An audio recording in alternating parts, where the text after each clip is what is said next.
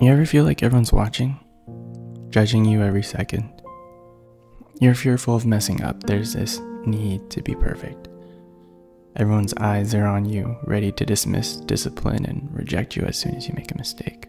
It's overwhelming, anxiety provoking. You're, you're self conscious, less confident, as if you have to hold back from being your true self. There's a constant worry about what others think of you, a constant need to prove to yourself that you can put on a show for their acceptance. But what if you stutter? What if your hands shake? What if you fail? What if. What if. You struggle like this for a long time. Stressed, isolated, disconnected.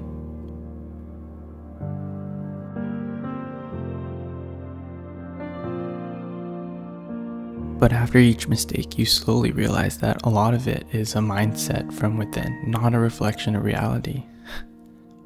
This must be what people call the spotlight effect. How fitting. You remind yourself that most people are too focused on their own lives that they're not constantly judging and evaluating you. And even when they do, it's often not as negative as the internal dialogue we hold within ourselves. You become determined to change your own thoughts and beliefs, starting by identifying and prioritizing your goals and values.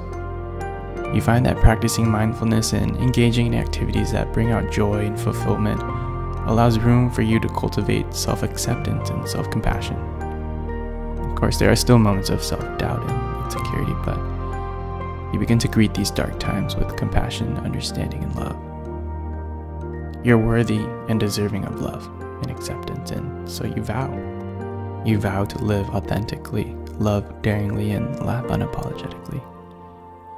It's time to take some strides towards creating the life you want and not worry about that spotlight, because it was never as bright as you thought, anyways.